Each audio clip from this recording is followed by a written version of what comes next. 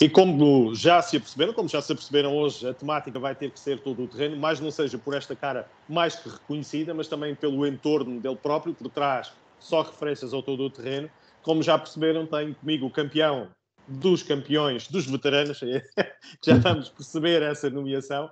Carlos Silva, que está de regresso às entrevistas 16 válvulas, ele que vem numa missão dupla hoje, que foi por isso que foi convidado, para nos falar um pouco das novidades para o Lama, ele será a pessoa indicada para nos falar do time para o Lama 2022, mas também porque temos aqui uma data para assinalar, quase da minha idade, vamos falar disso, em atividade, a brincar, obviamente, tenho um bocadinho mais de anos, mas efetivamente são quase tantos anos que eu tenho de vida como ele tem de carreira e por isso há que assinalar esse número brilhante, só vou dizer os números mais à frente. Mas sem demoras, Carlos, mandar-te um abraço mais uma vez, agradecer a simpatia, a disponibilidade e a vontade de conversar connosco aqui no 16 Válvulas. E é inevitável que eu te faça uma pergunta em que vamos falar pouco do problema, mas vamos falar muito do Carlos Silva, que todos nós conhecemos e reconhecemos. E eu começava por te perguntar qual vai ser, primeiro que tudo, a tua vida no todo o terreno em 2022 e também como é que vai ser a problema em 2022. Tão simples como isso. Depois o resto já vamos falar entre os dois. Bem-vindo, Carlos. Uh, boa noite, muito obrigado, Gonçalo. Uh, é sempre um prazer e uma honra poder falar convosco e colaborar com, com os 16 Válvulas, partilhar uh, muito do, do nosso gosto comum pelas corridas de automóveis, hoje especificamente, ou um pouco mais sobre, sobre todo o terreno, mas também sobre os ralis, que é uma, uma vertente nova na Prolama, mas que começa a ganhar também uma expressão muito importante para nós. Um, e obviamente que uh, o ano vai ser preenchido. Uh, já percebemos todos que os calendários estão um pouco mais condensados. Uh, existe no meio do ano, digamos que uma paragem demasiado longa, e isso faz com que as equipas tenham que ter aqui um, um trabalho extra em duas, em duas, digamos, em duas temporadas distintas, ou duas meias temporadas. Temos agora este arranque que vamos ter, depois vamos fazer um interregno que eu considero um pouco grande demais, uh, e iremos regressar só no último fim de semana de setembro, então aí, para um para final condensado. E só para duas provas, por aquilo que nós tivemos a ver, Reguengos e Porto Alegre, no, depois da pausa Não, do verão. Creio, creio, e está agendado, que teremos também a estreia da Baixa do Norte. Okay. Portanto, iremos regressar no final de setembro para três corridas, e nós, enquanto Prolama, e falavas-me há pouco, uh, para também falar um pouco do projeto da Prolama, iremos também uh, uh, embarcar o, o, Campeonato de Espanha com um dos nossos pilotos e obviamente que cruzar os dois calendários um com o outro uh, nem sempre é fácil. O ano passado já não o foi e este ano até parece um pouco mais um pouco mais difícil. Mas pronto, nós estamos preparados para estes desafios, faz parte faz parte da nosso, do nosso ADN, uh, estarmos uh, presentes em várias competições, em competições diferentes. É muito importante para a Prolama estar presente uh, em Espanha. É um, mercado, é um mercado muito interessante que está a crescer. O Campeonato Espanhol, ao contrário do que se diz, está a começar, na minha opinião, está a começar a mostrar alguma vitalidade. Obviamente que nós sabemos que temos o, o campeonato que temos, temos sem dúvida o melhor campeonato uh, todo terreno da Europa, para não irmos mais longe, não, não, nem queremos ir por aí, mas em termos europeus temos um campeonato fantástico e prevê-se para 2022 mais uh, uma afirmação ainda maior do, do, que é o nosso campeonato, mas o, o campeonato de Espanha de, de rallies todo terreno uh, está a ganhar realmente um elan bastante superior ao que tinha. eu fiz o campeonato todo o ano passado em Espanha, e, e, não tem realmente a qualidade das nossas provas, têm uma filosofia diferente de fazer as corridas todo terreno, se calhar até um pouco mais todo terreno que as nossas, e, depois isso é discutível. Há pilotos que gostam mais, há, há equipas que gostam menos, mas eu creio que o todo terreno em Espanha vai fazer uma, uma vai ter uma fase ascendente. Portanto, respondendo, ao, ao, respondendo diretamente ao que me estavas a dizer, nós iremos ter um, uma participação muito forte no campeonato nacional, uh, com uh, vários projetos, como, começando por, por o projeto do, da Ford Ranger do, do, Francisco Barreto, que uh, no final da época estreou este carro e este ano sim será, digamos, o ano 1. O ano passado tivemos ali uma, uma primeira abordagem, em que o Francisco foi tentando adaptar-se a este novo carro, e este ano será o nosso ano 1 no, no Campeonato Nacional T1. Com, com Vai estar ao lado dele. Exatamente, essa, é, essa é a primeira, uh, digamos, já praticamente todas as pessoas sabem que isso irá acontecer, ele próprio já o referiu, mas esse é o primeiro envolvimento que eu vou ter com o Francisco Barreto em todo o Campeonato Nacional. Iremos ter a evolução também do, do Jorginho Pedroso, nosso campeão um, T2 de 2019 e 2020 e 2021. 21. Uhum. Uh, iremos ter o, o Jorginho a fazer, digamos que, um upgrade à sua carreira eh, e irá passar por um carro superior, irá pilotar uma Nissan Navara Overdrive. Ehm, eh, pela decisão da equipa, será, irá participar no, no agrupamento T8. Eh, okay. Para nós é importante termos vários pilotos a, a disputar campeonatos distintos. Ehm, teremos também o Júlio Mourão, que com o seu Renault Megane Proto irá fazer, sem dúvida, as duas corridas da, da, do troféu Grande Lago Alqueva, e poderá vir a fazer ainda mais uma ou duas em Portugal. É a intenção dele fazer um programa, pelo menos de quatro provas uh, de todo terreno durante a época de 2022.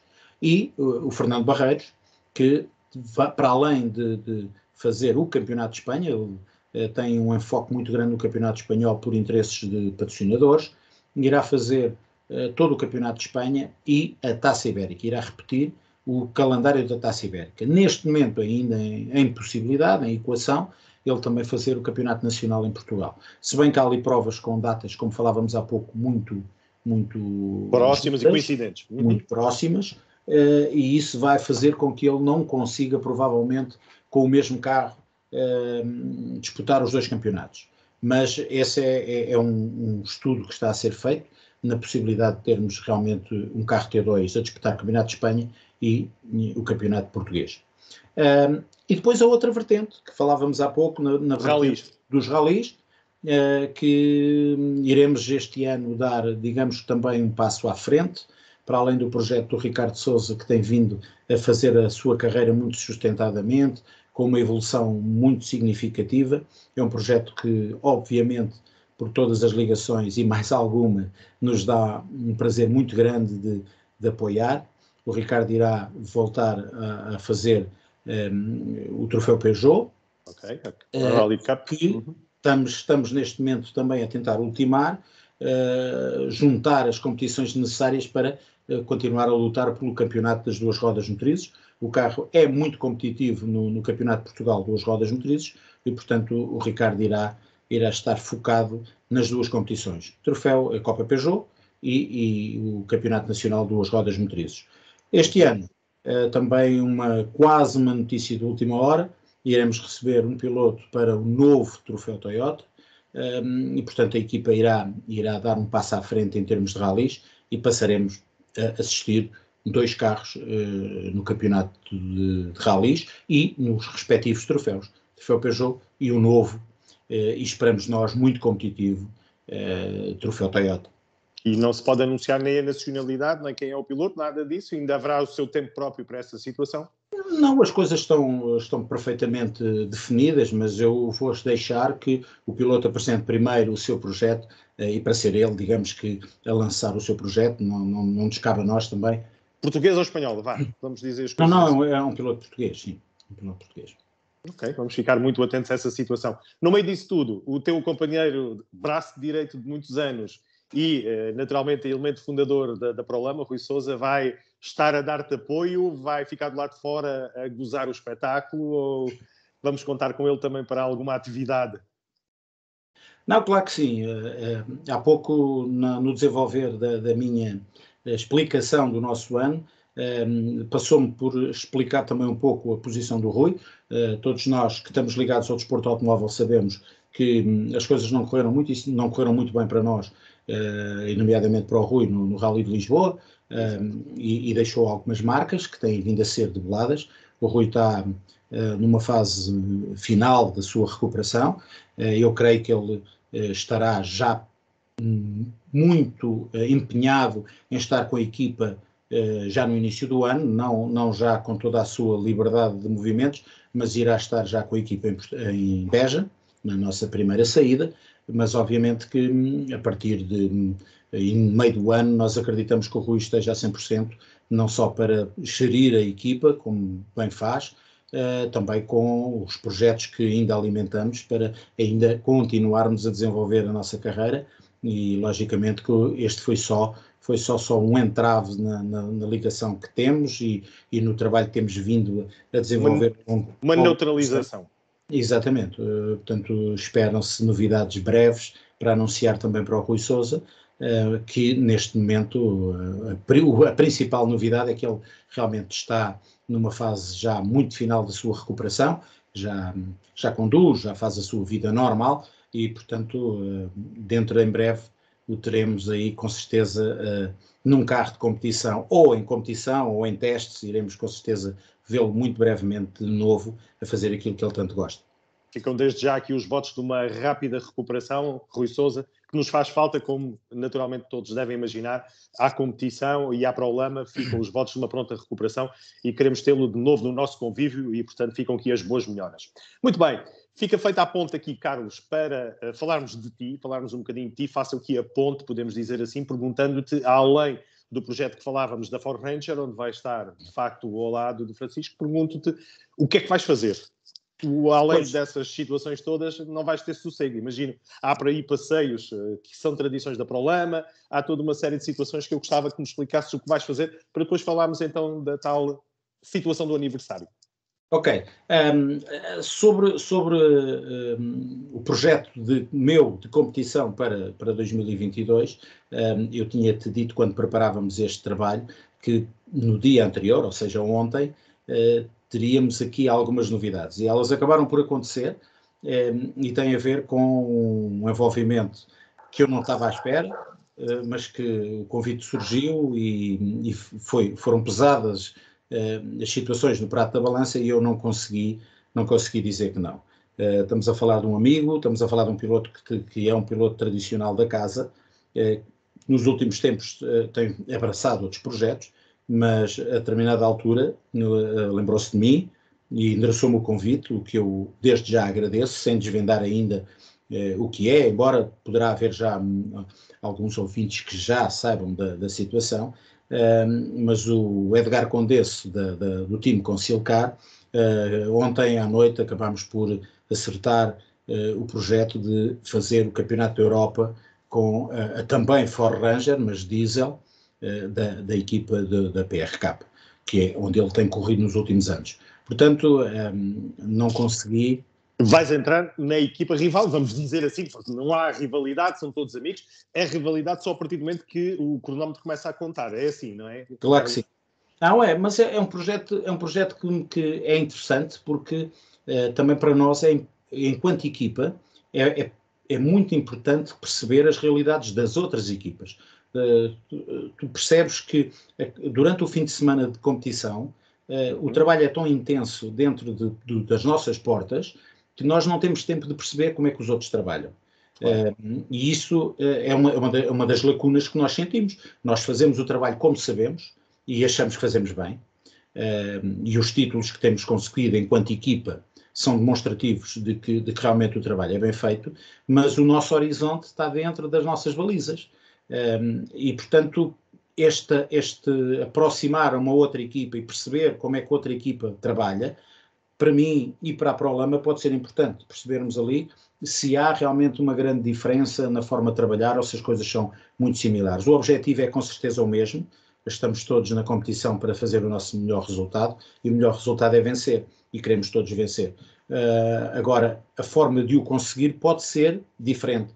E esse desafio também por aí é aliciante. Não só por ir navegar um piloto que eu conheço há muitos anos e, e, que tenho um respeito muito grande, um carinho muito grande, e, e reconheço no Edgar eh, grandes capacidades, e eu recordo sempre que o Edgar tem um pouco, vem um pouco da, da, da minha filosofia de, da competição. É? O Edgar começou, eh, digamos, com um projeto de navegador, eh, foi navegador durante alguns anos e depois tornou-se um piloto e com os anos tem-se tornado um piloto de referência e um piloto que muitos, muitos espectadores gostam de ver passar, um piloto com alguma espectacularidade. Uh, portanto, eu estou muito curioso de, de, fazer esta experiência com, com, o Edgar. Era uma, era uma participação que estava prevista há muito tempo. Uh, o Edgar esteve com a Prolama seguidos cerca de 12, 13 anos a competir uhum. connosco e inclusive tivemos a partida de uma Baja de Aragão os dois, que acabámos por desistir após o Pro, apenas fiz o Pro com ele, portanto a ligação que tenho com o Edgar resume-se a 10 km. Portanto, desta vez eu acredito que vamos mais longe e que E fazer o europeu nesse caso. Não percebi. Fazer o campeonato europeu, é assim que eu entendo. Uh, Exatamente. Com a Ford Ranger. Com a Ford Ranger, para fazer uh, o campeonato da Europa, poderá haver uma corrida uh, que não possamos fazer, porque temos a Baja de Lolé em cima da Baja da Grécia. Portanto, isso está em estudo, o Edgar irá estudar uma solução, porque eu tenho compromisso com o Francisco e, e digamos que o projeto principal é o Campeonato Nacional, portanto eu irei estar em Lolé com o Francisco e nesse mesmo fim de semana existe a Baja da Grécia. Portanto o Edgar irá encontrar uma solução para, para estar na Grécia ou não e, e, e depois continuarmos o resto do campeonato. E essa opção é sempre uh, em detrimento de, do Campeonato Europeu. Portanto, tu tens o compromisso com o Francisco, é assim Sim. que eu entendo, e, Exatamente. portanto, nunca seria ao contrário. É pedidos ao Francisco, olha, deixa-me fazer o europeu na Grécia Não, e depois o Francisco arranja outro navegador. Exatamente. O que foi, o que foi, o projeto inicial foi assumido dessa forma. Okay. Uh, e, era, e, e portanto, esse, essa é, digamos que, a nossa prioridade, o nosso objetivo número um é estar com, com o Francisco uh, durante todo o Campeonato Nacional. Depois surgiu então o, o convite para o, para o europeu com o Edgar, e, e, obviamente temos ali uma data coincidente que tem que ser torneada, iremos ver um, como é que isso irá ser feito. Portanto, isto em termos do terreno já nos deixa, já nos deixa aqui uh, um leque muito grande de corridas e um leque muito grande de fins de semana ocupados, mas pronto, pois existe, como tu dizias e bem, sempre mais umas coisas. Apareceu agora aqui um convite de última hora para fazer o, o Rally das Camélias num clássico, é uma coisa que, que acho muito interessante, foi um convite que eu recebi do meu primeiro mecânico, uh, o primeiro mecânico que fez o meu primeiro MM decidiu agora fazer uns ralis, uh, digamos, num espírito mais de lazer. E, e veio-me convidar, tens que fazer Rally das Camélias, nunca fizeste uma corrida comigo, vais fazer o Rally das Camélias comigo e eu acedi com muito gosto, é mais um projeto. Depois temos, como disseste bem, o passeio, que, vários passeios, mas um passeio da Prolama de todo terreno para aberto a toda a gente, quem se quiser inscrever, que fazemos todos os anos de Mafra para Reguengos de Monsaraz, digamos que a, a, ligação transversal do nosso país, da costa até praticamente à fronteira espanhola. Portanto, é um passeio de dois dias e meio, um passeio muito bem estruturado, com muita cultura, eh, com a gastronomia, com um tema, todos os anos um tema diferente, este ano com as danças e cantares, juntar o folclore digamos, Saloio ao Canto Alentejano, portanto vai ser um passeio temático muito interessante, e depois todas as outras uh, atividades que eu já há muitos anos que, que, que vou fazendo, como uh, participação uh, e colaborando no, no, no, projeto de segurança do Rally de Portugal como Carro 00, também a formação de karting que, que, todos os anos, onde sou monitor em Leiria. Da Federação ACP o, pelo ACP, um, um, projeto que me dá um gosto especial de poder ter crianças dos 7 aos 13 anos a aprender os primeiros, os primeiros passos desta modalidade. Nós temos uma carência muito grande de pilotos jovens e, e este é um trabalho que me dá um enorme gosto porque eh, conseguimos passar tudo aquilo que aprendemos durante os tais anos que tu não quiseste revelar, e já são muitos, Uh, Vai ser já toda essa, toda essa dinâmica que conseguimos ir ir desenvolvendo durante estes anos todos e, e tudo aquilo que nós sabemos conseguimos pôr ao, ao serviço dos meninos, dos jovens, das meninas. Uh, é, é, muito interessante e é, é, é dá-me um gosto muito grande ao fim da semana perceber que as crianças que chegavam ali e que, que se assustavam com, com o trabalhar do kart, no último dia fazem corridas com uma lealdade muito grande, com um, espírito competitivo muitíssimo grande e com muita segurança, que é sempre a nossa, a nossa palavra um, mais falada durante aqueles, aquela semana de, de, férias para eles, para nós de muito trabalho, mas pronto, todas, esse, todas estas atividades, como deves calcular, uh, me deixam aqui poucos fins de semana livres. É mas é quando nós dizer. fazemos as coisas que gostamos, uh, é muito difícil depois dizer que não em casa já estão avisados que não vão ver nos próximos tempos, portanto, só durante a semana ali um bocadinho, porque fins de semana é para esquecer. Há de ter sempre qualquer coisa para fazer. Exatamente. É, nesta fase, nesta fase as coisas tornam-se mais fácil, porque um, os, os, as crianças já não são crianças, já são grandes e, e, portanto, já não nos acompanham e, portanto, estamos um pouco mais libertos para isso. Mas já tiveram tempo de se habituar e agora sim vamos desvendar um número que há 40 anos que faz parte da tua vida não dar sossego ao fim de semana, não é verdade? Portanto, já tiveram tempo já de se adaptar. Será assim ou não, Carlos? É verdade, este ano vamos assinalar eh, uma efeméride para mim muito importante, daí também o aceitar tantos projetos para este ano também teve a ver com isso. Um, ehm, temos aí amigos nossos a desenvolver um logo, um logo especial para os meus 40 anos e eu vou fazer muito orgulho em, em, em passeá-lo durante estas competições todas. Uh, claro. São 40 anos, que eu diria mais, até são 42. Eu quando digo 40 anos, são 40 anos de licença desportiva. Okay. Uh, eu comecei em 1980 numa equipa de ralis, um amigo meu, infelizmente já desaparecido, um, ehm, que me convidou para ir com ele aos ralis. O que é que eu fazia? Nada mais, limpar o para-brisas e acartar os pneus. É? Levava os pneus, trazia os pneus, limpava o vidro, limpava os faróis, era o trabalho que eu fazia. Ehm, portanto, são 42 anos uh, nesta disciplina. Nesta Ligado disciplina, aos carros. Não, no desporto automóvel. Ligado aos eh, carros. Uh, que depois, a determinada altura, teve uma, uma, passagem de volante pelos karts, também por alguns ralis regionais. Um, ehm, ainda cheguei a fazer duas ou três corridas de motocross pirata, que é uma coisa que não se pode dizer, era pirata, não se pode dizer. Mas Agora naquela, já se pode. Naquela altura era, era, as corridas eram assim, as corridas de festas nas aldeias, todas, todas tinham uma corrida de motocross, em que nós participávamos com a nossa moto que tínhamos em casa, era a que havia, era aquela com que participávamos. Algumas quedas, alguns acidentes, portanto, uh, tudo isso faz parte do, do processo de, de, de, da grande afirmação do gosto e da paixão que surgiu pelos motores, pelo desporto motorizado pelos automóveis, que dura a estes 40 anos de licença desportiva.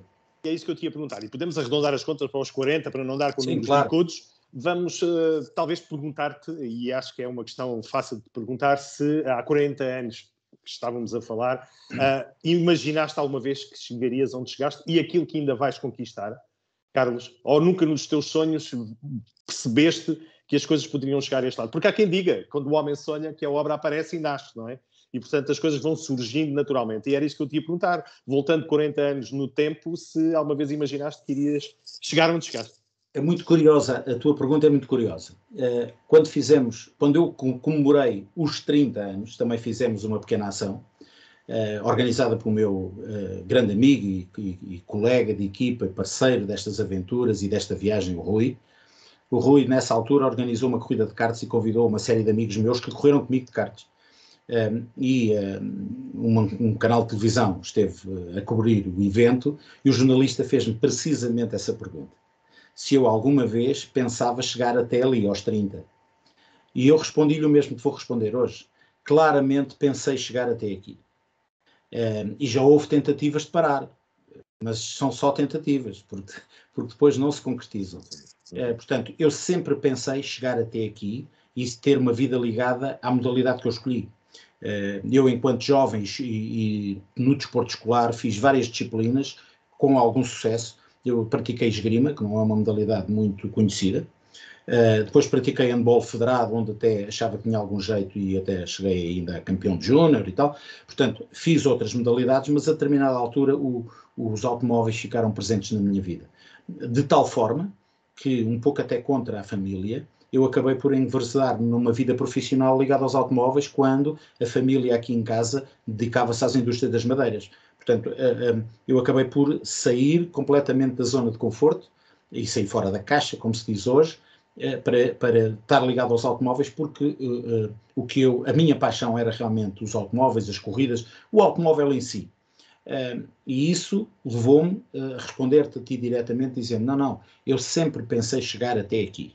Agora, claro que eh, provavelmente o que eu não esperava era conseguir ter eh, uma carreira de sucesso, que eu considero isso. Temos momentos, tivemos, atravessamos momentos menos bons, mas tenho um salto que eu considero muito positivo em termos de, de, de, de sucesso desportivo, de bons resultados. E, e, isso eu provavelmente eh, não esperaria. E também não esperaria que, esse, que essa carreira virasse uma carreira de navegador eu digo sempre, meio a brincar, eh, até acho que já te referi a ti isso, eu, eu a determinada altura tinha a mania que era piloto. E, portanto, uh, houve alguém que viu em mim aquilo que eu nunca tinha visto. E esse alguém chama-se António Baiona, foi o meu primeiro piloto, que me, desafiou para ser navegador dele. E as coisas correram de tal forma bem nesse ano conquistei logo o meu primeiro título, mas, mas uh, numa história também curiosa, a minha primeira nota, que nunca tinha sido navegador, e, e, e eu estreiei-me com o António Baiona no Rally RTP em Mortágua, e a minha primeira nota foi uh, realmente uh, simbólica do sucesso que eu ia ter na carreira, porque a minha primeira, a primeira vez que eu ditei uma nota ao António foi para o sítio errado. Portanto, as coisas tinham tudo para dar certo. Uh, e, e, foi. oh, Carlos, e, e, é inevitável perguntar: uh, em toda esta vida ligada à competição, há alguma atitude ou há alguma questão que te arrependas de uma decisão que tomaste, nomeadamente a questão de poderes parar e teres uma vida mais tranquila com a família, etc., e teres dito que não, eu quero é continuar nos carros, por exemplo, ou essa não era das mais difíceis das decisões tomadas? Não, é, essa decisão. Uh, houve um momento da minha vida que essa decisão esteve equacionada uh, com uma força muito grande. Uh, e eu, para as pessoas que estão ao meu lado, o Rui uh, sabia disso, soube da situação e viveu, digamos que aquelas duas últimas corridas que eu achava que iam ser as duas últimas corridas. não foi um processo realmente muito fácil de gerir e eu, a determinada altura desse, desse processo, e estamos a falar ali de um espaço temporal de dois, três meses, em que isto passeou na minha cabeça, eu, durante esse tempo, uh, consegui perceber que estava a fazer a escolha errada e que um, eu poderia ter outro caminho, quem sabe, ou, ou seria com certeza diferente, mas que me iria faltar algo que me dava o apoio e a serenidade necessária que eu precisava para continuar a minha vida, fosse ela qual fosse. Portanto, a determinada altura, eh, quando isso aconteceu, eh, a decisão de parar eh, abrandou e reverteu-se numa força ainda maior. E essa força ainda maior deu num apoio maior à Prolama, deu num apoio maior ao, ao Rui, que tinha ali um peso muito grande com, com a equipa, e deu uh, num título nacional absoluto, num, num, projeto internacional dois anos depois, num campeonato do mundo em 2008, deu numa série de coisas sempre para melhor. Portanto, digamos que eh, aquilo que eu senti uh, como necessidade de parar transformou-se numa força interior que me levou uh, a dedicar-me ainda mais e, e, e trazer-nos até aqui. Uhum. Oh, Carlos, e o que é que falta? Foi isso que eu te perguntei atrás, se já alguma vez imaginaste chegar onde chegavas, mas o que é que ainda falta, Carlos? É os 50?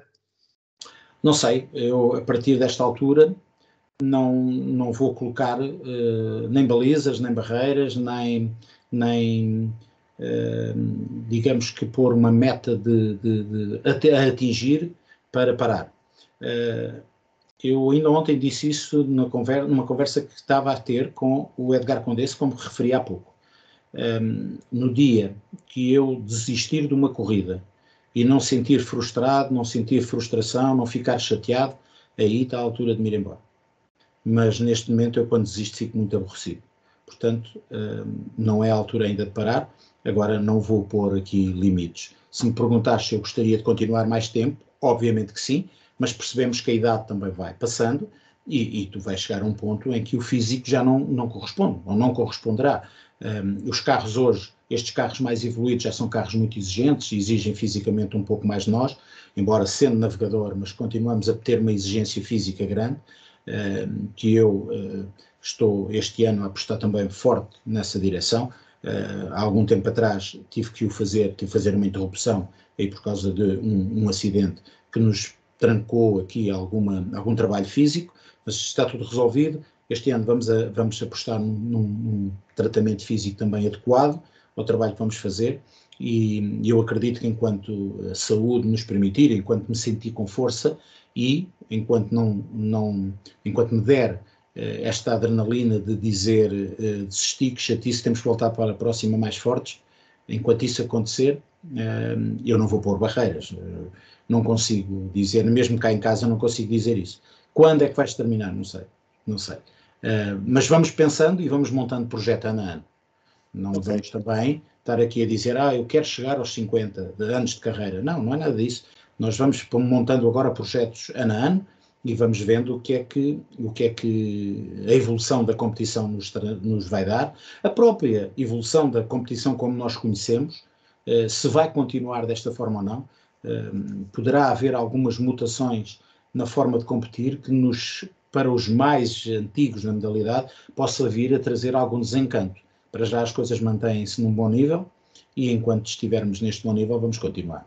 Uhum. Uh, uma pergunta óbvia que poderia ser fácil de colocar se estivéssemos noutro órgão de comunicação era pedir-te 40 nomes uh, destes 40 anos que tivessem sido importantes na tua carreira. Não temos forma disso, o tempo aqui está a contar.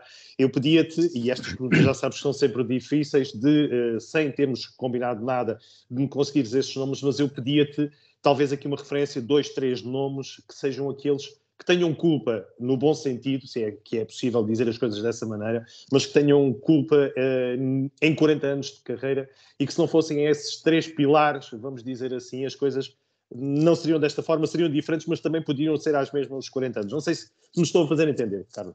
Perfeitamente. Um, eu, eu, essa frase eu uso, eu uso muitas vezes quando, quando estou junto com essas pessoas. Uhum. E costumo dizer, olha, este é mais um dos bons culpados. Portanto, eh, existe realmente na minha carreira cinco ou seis nomes eh, importantes e 40 não, não, não seria.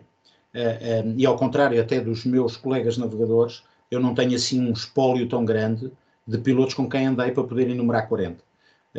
Eu, eu ao longo da minha carreira de 40 anos de desporto automóvel, eu tenho 27, 28 de navegador, o resto foi feito ao volante, nos karts, etc.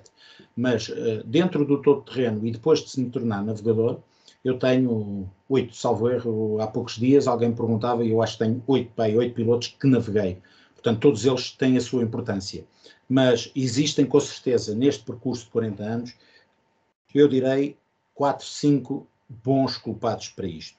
E alguns são já glórias do passado, mas que estão no, no, no, universo de quem, de quem está no desporto automóvel e as pessoas gostam às vezes de saber isso. E há duas ou três histórias muito rápidas, porque eu sei que o tempo vai alongando. Um, dos grandes culpados, ou os primeiros dois grandes culpados de, de, de eu estar um, nesta, neste desporto e de chegar a este percurso de 40 anos, um deles chama-se Rally de Portugal, na altura Rally TAP, que passava uhum. aqui à porta de casa. Não em troço cronometrado, mas em ligação. Portanto, e o ruído dos carros, o colorido dos carros, os autocolantes dos carros, faziam estar o dia do rally. O público, o público dos carros. Exatamente. Também como tu, uma multidão grande, grande, grande. E, sim, mas aqui, aqui na, na, na, onde eu, à entrada de Mafra, uh, não, havia, não havia um setor seletivo, não, não era um troço, era uma ligação. E eu ficava o dia inteiro sentado numa pedra a ver passar os carros e a apontar o número dos carros que passavam. Portanto, isso, esse é o primeiro toque que me uh, uh, faz o apelo para, aquele, para aquela competição. Como pessoas, uh, tenho o, a história do meu primeiro patrocinador, é algo de muito interessante e eu já escrevi várias vezes, um dia de vez consigo pôr o tal livro que já foi começado há muitos anos e que está sendo sempre atualizado, que se chama António Rodrigues, um grande piloto de Guimarães, campeoníssimo de, de, de velocidade, de ralis. Uh, o António Rodrigues tinha uma empresa... Terá cumprido, terá cumprido o aniversário agora há poucos dias, por acaso, Há poucos dias, exatamente. E Exa parabéns para ele. Exatamente. O António Rodrigues, eu, eu, quando decidi começar nos karts, comprei o kart e depois era preciso apoios patrocina e patrocinadores. E o que é que eu fiz? Agarrei no jornal, no volante e no motor e, e tirei uma lista de nomes das empresas que patrocinavam os carros das corridas e na altura não vi internet, e fui às páginas amarelas, retirei as moradas e fiz para aí umas 50 cartas escritas numa velha Olivetti que eu tinha, mandei aquelas cartas todas. Dessas 50, eu digo sempre, não, o número não é exato, mas eu terei recebido 10 respostas. Um, e dessas 10 respostas, 9 diziam, pá, muito engraçado, o projeto é muito, muito bem feito, este ano já não dá, o orçamento do ano está fechado, mas no ano que vem contacte-nos de novo. E numa das cartas que eu abri, vinha um cheque de 35 contos. Isto é qualquer coisa que vocês. Estamos a falar em 1982, ok? 40 anos. Em 1982, 40 contos era um, 35, 35. Contos, era qualquer coisa que eu não consigo hoje transpor para euros, não, não, porque não tem o valor que tem 35 contos traduzidos em euros. Eu fiz o campeonato todo de karts, eu alugava, não tinha carro próprio, eu alugava um carro na Avis para levar o kart às corridas, comprava pneus, tudo. Portanto, e esse apoio, esse cheque chegou-me da empresa do António Rodrigues. Portanto, é, é uma pessoa que eu tenho um carinho muito especial por tudo o que representa e é o primeiro grande bom culpado. A seguir surgiu um outro que se chama Carlos Bica, com a Duriforte, foi o meu segundo grande patrocinador, hum, uma grande equipa nos ralis, que decidiu apostar num miúdo aqui de Mafra que ninguém conhecia e que me dá o grande impulso, dá-me a conhecer pessoas, preparadores. Nessa altura conheci o José Barata, conheci o Nuno e o Pedro Coceiro, que foram, digamos que, os meus primeiros mentores no karting, eh, tudo através da, da mão do Carlos Bica, uh, e, e, e, que a partir daí as coisas começaram realmente a ser mais fáceis. Quando dou o salto para o todo terreno, é o Carlos Bica que ainda me apoia os primeiros UMMs, um, e, e, obviamente que tenho um carinho muito grande, uma amizade muito grande com o Carlos e com toda a família, com o Jorge, com o pai, uh, que foi inexcedível comigo, foram sempre de uma, de uma, uma vontade de me ajudar e de um incentivo, por vezes não é só o ajudar, é o incentivo que eu senti por parte deles. E a seguir, obviamente que aparecem os pilotos que depois me começaram a pôr no banco do lado direito. O primeiro, o António Baiana, que percebeu que eu podia ajudá-lo, e as coisas acabaram por correr bem.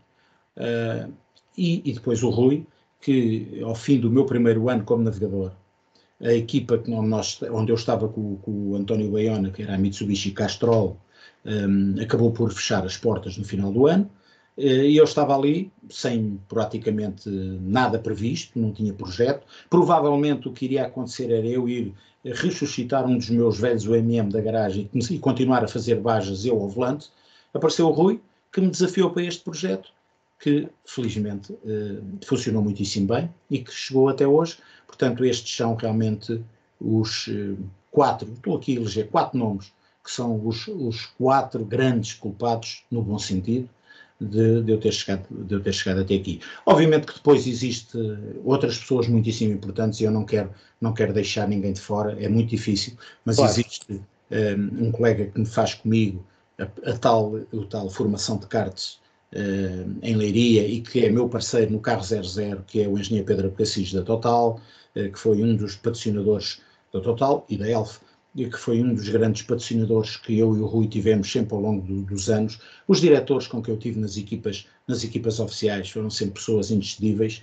Um, eu recordo que já passei por três equipas oficiais, Mitsubishi, Nissan e a Isuzu, e isso também me dá digamos, com um, gosto muito especial poder dizer, ok, eu já passei em três equipas oficiais um, e, e, e, essas pessoas são todas elas muitíssimo importantes para mim e não posso esquecer nunca todos os mecânicos trabalharam para mim.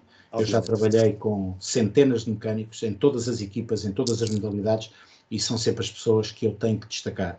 O trabalho dos mecânicos que não é visível é realmente uh, a parte mais importante de tudo isto.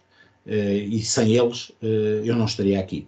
Portanto, temos aqui quatro ou cinco nomes de pessoas muito importantes para mim, mas depois, sem nome nenhum, todos os técnicos com quem eu trabalhei são as pessoas que eu realmente considero os bons culpados de eu chegar até aqui e depois, ainda por cima, esses mecânicos são aqueles que nos dão possibilidade de ter sucesso e de vencer. Obviamente.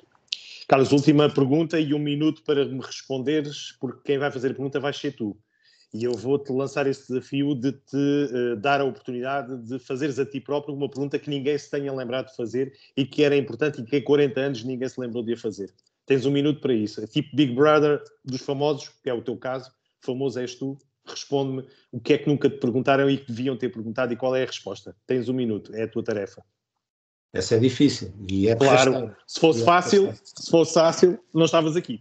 E é de rasteira. Sem, uh, eu vou-te dizer, um, não é difícil, uh, pode parecer, e até pode parecer pretencioso da minha parte, mas há uma, há uma pergunta que nunca ninguém me fez, que eu tenho visto ser melhorado nos últimos anos, que é, durante muitos anos, os navegadores não eram, não tinham, digamos, o reconhecimento que, que merecem, porque quando se fala de equipa, um, estamos a falar de um trabalho conjunto. uma equipa de futebol eh, quando ganha, são todos campeões nacionais ou são todos eh, campeões mundiais.